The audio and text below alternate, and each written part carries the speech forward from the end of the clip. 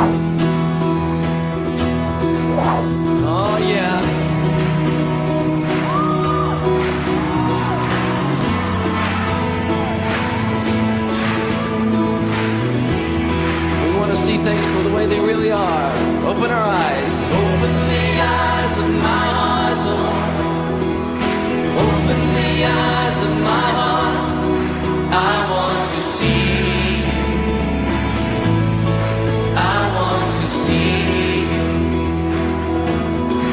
it up. Let me hear you.